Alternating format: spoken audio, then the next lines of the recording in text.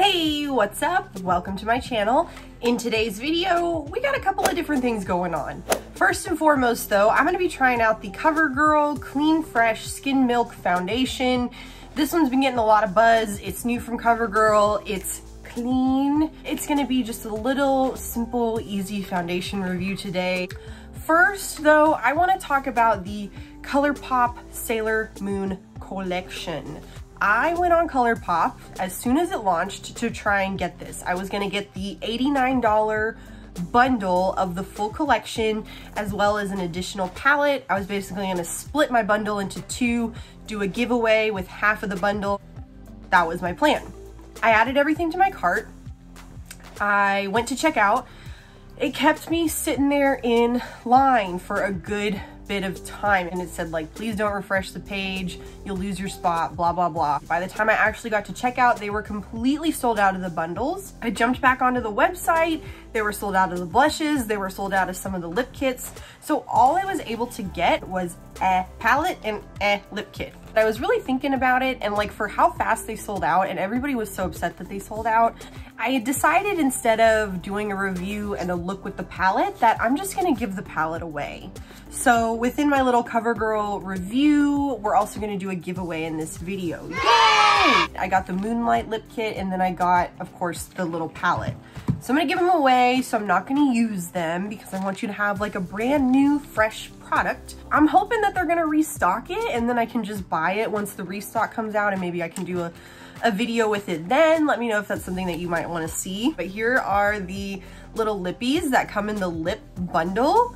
Super cute. This one is a gloss. This one is that like ultra blotted formula. And then I'm not gonna touch it or swatch it or anything like that, but I just wanna look at it because I've heard that this packaging, oh my God, this packaging is sickening. It's so cute. Look at what the little mouth. Hold on, let me see if I can get it to go. There it goes. Cute. Way cute. Okay. It's so cute and it's got that like, so fun. I'm not even gonna take the thing off. Oh my God, it's beautiful. Okay, I'm not even gonna take the little plastic thing off, but God, it's cute, isn't it? Wow, okay, I really hope they restock this. I'm giving it away, I'm giving it away, I'm giving it away. Giving it away. It's going back in the box. Just make sure that you stick around until the end of the video to hear about this giveaway as well as some upcoming giveaways that I'm going to be having. First and foremost though, we're gonna be trying out Miss CoverGirl Clean Fresh foundation. It's a dewy finish. If you've watched any of my videos, you know that I have oilier skin.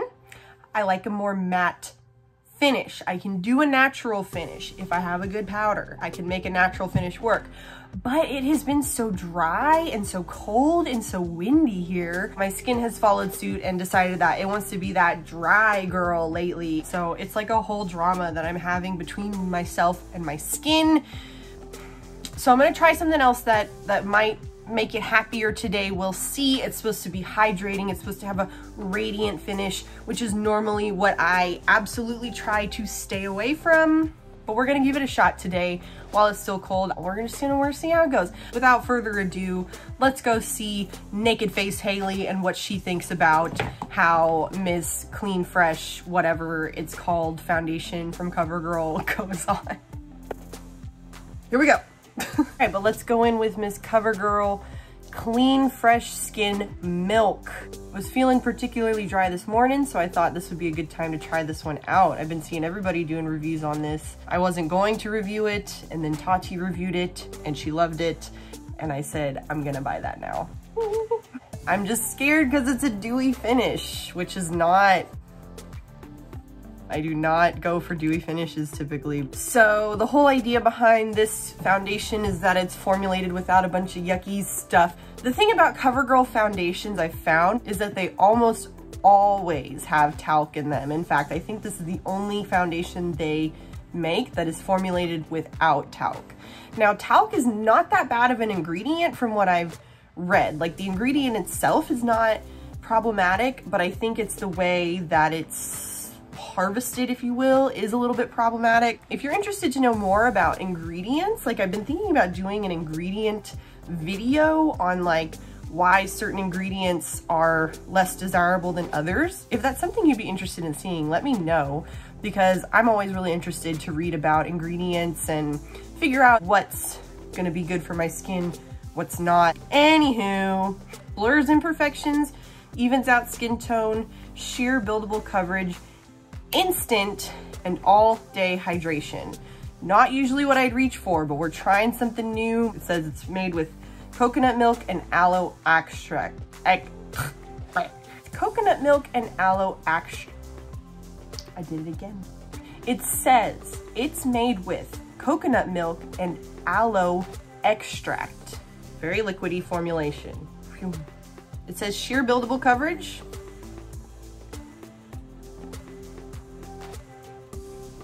Don't think I like the way it smells. Mmm. It smells weird. I don't like it. Very sheer coverage so far. But some days that's all you want. It's just, you just want things evened out, right?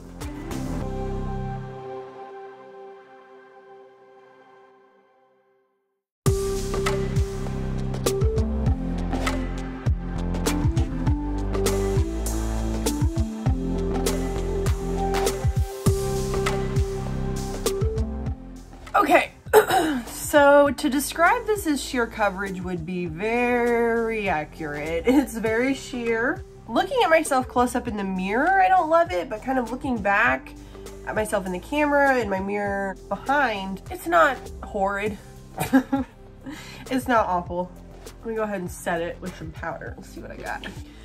I'm gonna use my Thrive Causemetics Translucent Matte Powder.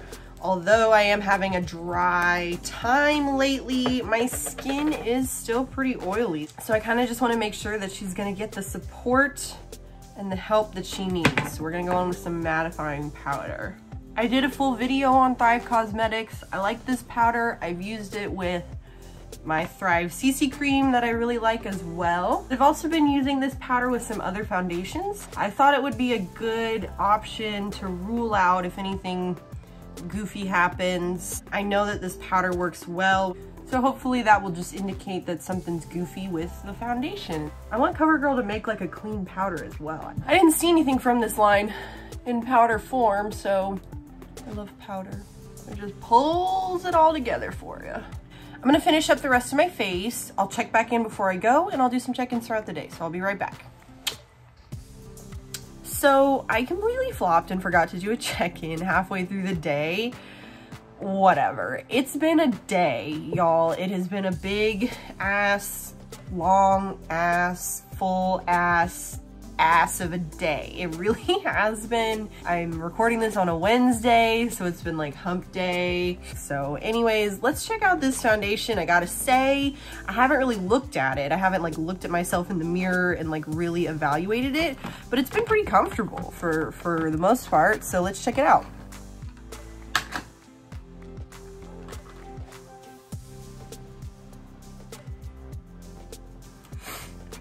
So it's fantastic. And suddenly everything that I've ever known about myself is a lie. Hmm. I, for so long, have just like completely avoided anything that's like radiant finish, dewy finish, anything like that. And now this little CoverGirl foundation comes along and it gets me through the full day without any yuckiness. Like everything looks really pretty dang good right now. By the way, this is not a cold sore, it's a pimple. I did use my Thrive Causemetics powder. It's a mattifying powder, so I think that that probably helped. I'm just not even sure what to make of this. I feel so strange about liking this foundation.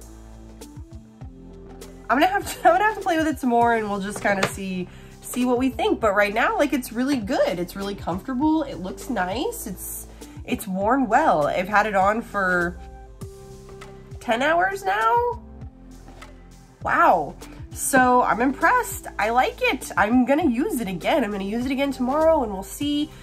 Hey, okay, so I just wanted to add this to my CoverGirl video just because I wore it again today. It's now the day after I initially shot my video It applies a little weird, like it almost, I don't know, it's like, I don't know how to describe it. It's like it clings to the little skin on your face or something. I don't know. I feel like whenever I put it on, there are these little like fragments that kind of what it's not even that big of a deal. I just blend it out and it goes away, but it was just a little odd. So anyways, it's not even that important. I don't know why I brought it up, but I just wanted to add this because I ooh, tried it again. So it's like a, sorry, my dog is Miller.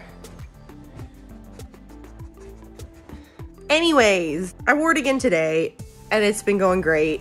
Um, I think that this is gonna be like my go-to foundation for the remainder of winter and we will return to it in the summer. I'm gonna have to do like a uh, retry all of these foundations video once it starts to get hot here again because I feel like all of my foundation reviews I've just been like, it's so dry, it's so dry, it's so dry.